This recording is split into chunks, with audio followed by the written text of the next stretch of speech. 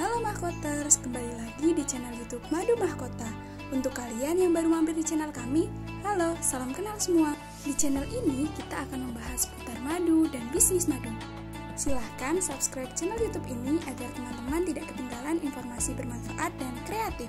Di bulan Ramadan kali ini, kita akan membuat es susu madu kurma. Mudah bukan? Bahan-bahannya ada kurma segar, 2 sendok teh madu mahkota, susu steril atau susu full cream, dan yang terakhir adalah es batu yang bersifat opsional. Adapun cara pembuatannya yang pertama, pisahkan kurma dari bijinya, masukkan kurma yang sudah dipisahkan dari bijinya ke dalam blender, lalu tambahkan susu full cream atau susu steril, dan jangan lupa tambahkan 2 sendok teh madu mahkota.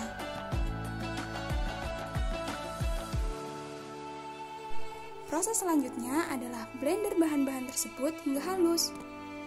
Nah, kini teman-teman bisa menambahkan es batu agar lebih segar. Ini bersifat opsional ya.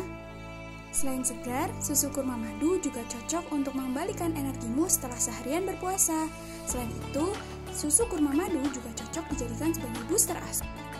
Jangan lupa praktikkan kreasi simpel menu berbuka ini di rumah ya. Sampai jumpa di video selanjutnya.